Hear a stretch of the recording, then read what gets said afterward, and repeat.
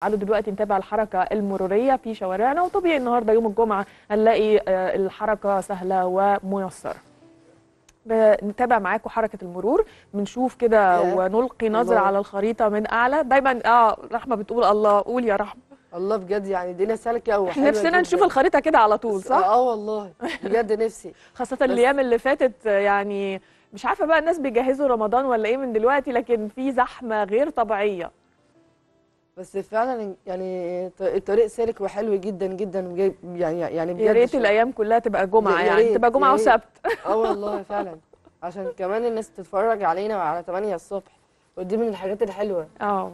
آه والله. جميلة يعني. بنشوف حاجات دافية كده على الصبح. طب ده إيه إيه علاقته ده بحركة المرور نتدفى برضه وإحنا بنتفرج. يعني الد- الدفاية في العربية بقى. لا لا لا دي عارفين الموضوع اللي بتقول عليه رحمة موضوع الدفات في في السيارات ده؟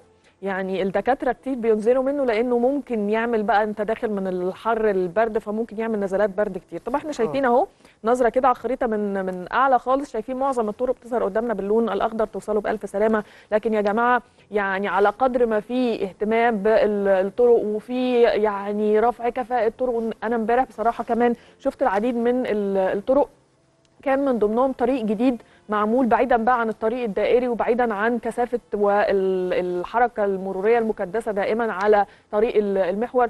في طريق سياحي معمول جديد كده في امتداد مدينة الإنتاج ال- الإعلامي في امتداد طريق الواحات.